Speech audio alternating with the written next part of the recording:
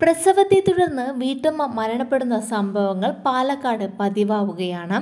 ശനിയാഴ്ച പ്രസവത്തിനായി സ്വകാര്യ ആശുപത്രിയിൽ പ്രവേശിക്കപ്പെട്ട യുവതി മരണപ്പെട്ട സംഭവം വിവാദത്തിലേക്ക്. ധോണി സ്വദേശി സിജ്ലിന്റെ ഭാര്യ വിനിഷ എന്ന മുപ്പത്തൊന്നുകാരിയാണ് മരണപ്പെട്ടത്. ഗുരുതരാവസ്ഥയിലായ കുഞ്ഞിനെ മറ്റൊരു സ്വകാര്യ ആശുപത്രിയിലെ തീവ്ര പരിചരണ വിഭാഗത്തിലേക്ക് മാറ്റിയിരിക്കുകയാണ്.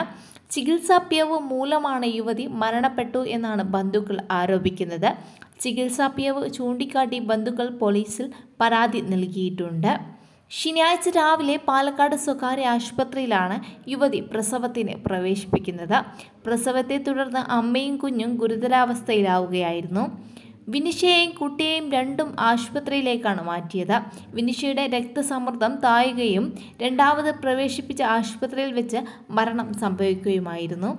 വിനിഷയുടെ പ്രസവത്തിന് ശേഷമാണ് കുഞ്ഞിന് ആരോഗ്യ പ്രശ്നമുണ്ടെന്നും അത് ഗുരുതരമാണെന്നും ഡോക്ടർ അറിയിക്കുന്നത്.